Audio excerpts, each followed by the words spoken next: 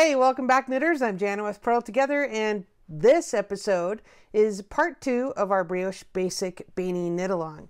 Okay, so in this little tutorial, we're going to learn how to do decreases so we can shape the crown. And if you'll notice, it's got these cool little gathers because it decreases very, very quickly. It's only about three rows. So make sure you have the height that you want before you start the decreases because it'll round a little bit, but it's not going to add any height at all. So make sure you Either knit it high enough to do the fold over. If you want to have the fold over brim for some extra warmth, make sure you do that. Or go ahead and knit it straight and just make sure it's tall enough to cover your ears or however you want it to be. I want to give a hearty and public shout out to Ruby, Mandy, and Melody. They're my three newest patrons. Thank you so much for supporting Purl Together. We couldn't do without you. If you'd like to learn how you can become a patron and see the rewards I'm offering in trade for your pledge of support, head on over to www.patreon.com forward slash Purl Together. All right, let's get to it.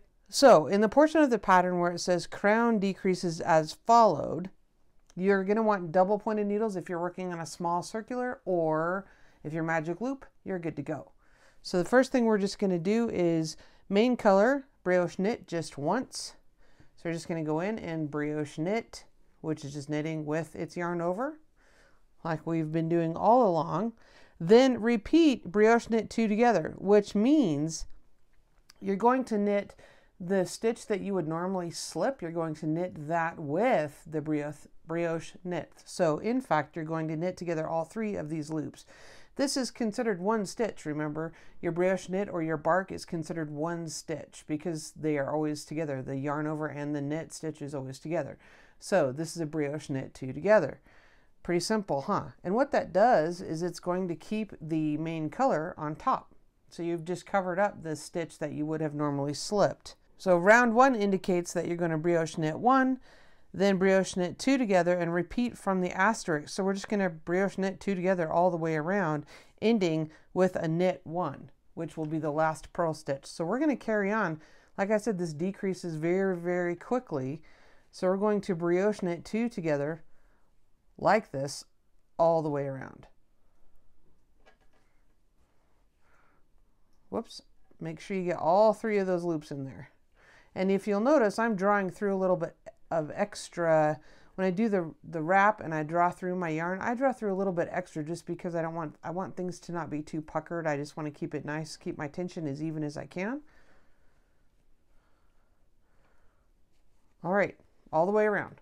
I'm nearly all the way around and again I'm just going to do one more brioche knit two together and then I'm ending and I would have had this purl row so I'm simply going to knit that per the instructions all right round two remove the marker and then with the main color, I'm going to just put this contrasting color, leave this forward. I'll deal with that later. Okay, and then we're just going to knit two together all the way around until we only have 10 stitches left. So that's pretty straightforward.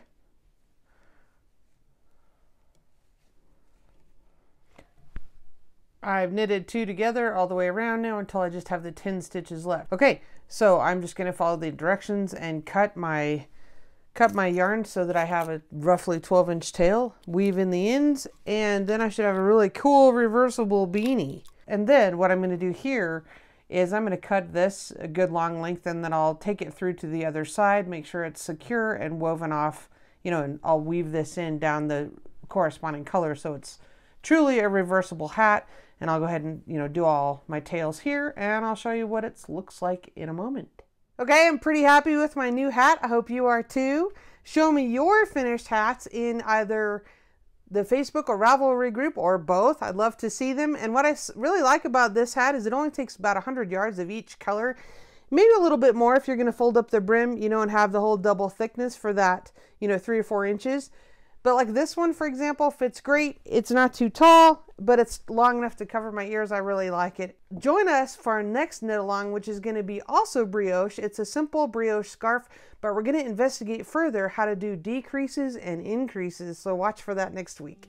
All right, thanks again for watching and supporting Purl Together.